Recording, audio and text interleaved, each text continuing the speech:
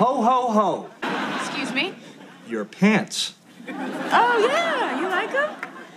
I just I went to a used clothes store and got like a bunch of maternity stuff. These are so comfortable. Phoebes, those are uh, those are Santa pants. What? Santa pants.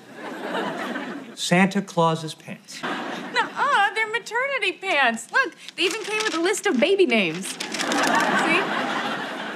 Are good and these are bad. Oh.